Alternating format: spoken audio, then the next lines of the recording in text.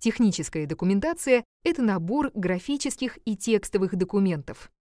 Они используются при проектировании, конструировании, изготовлении или использовании, эксплуатации каких-либо продуктов труда, промышленных изделий, зданий и сооружений, услуг, программного обеспечения. Техническая документация задает весь технологический процесс производства, получения, изготовления, использования, ремонта. Вся техническая документация делится на конструкторскую и технологическую.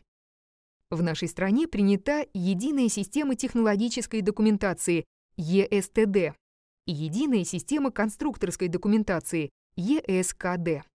Эти системы устанавливают виды и формы технологических документов, технологических карт, маршрутных карт, операционных карт, а также конструкторских документов, чертежей, эскизов, технических рисунков, схем. Познакомимся подробнее с технологической документацией. Маршрутная карта содержит описание всего технологического процесса изготовления детали или изделия последовательно по всем переходам.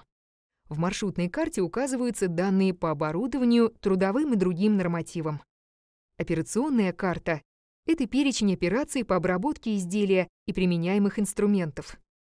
Технологическая карта — это форма технологической документации, в которой записан весь процесс обработки изделия, указанные операции, их составные части, материалы, производственное оборудование и технологические режимы, необходимые для изготовления изделия, время, квалификация работников и тому подобное.